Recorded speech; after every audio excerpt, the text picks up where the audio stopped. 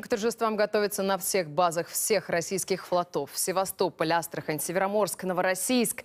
Заключительная репетиция прошла сегодня во Владивостоке, в Амурском заливе, гордости мощь Тихоокеанского флота. В парадном звене более двух десятков боевых кораблей и судов обеспечения. Во главе колонны знаменитый «Варяг», гвардейский ракетный крейсер, флагман Тихоокеанской эскадры. Особенность парада на Дальнем Востоке – это яркая наземная часть. Морская пехота высаживается на берег, имитируя десантную операцию. Узнать все о празднике в разных городах и, конечно, в Санкт-Петербурге, а также техники, которые участвуют, можно уже сейчас на сайте Минобороны.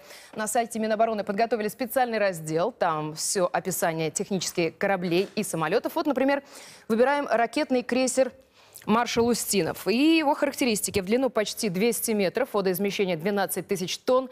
Настоящая плавучая крепость, способная противостоять любым угрозам на воде, под водой и в воздухе.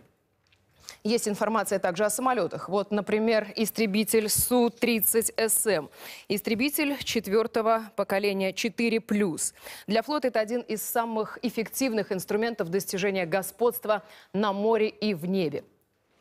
И всю эту красоту и мощь мы скоро увидим воочию. Главный военно-морской парад в Санкт-Петербурге Первый канал покажет в прямом эфире. Начало воскресенья в 11 утра.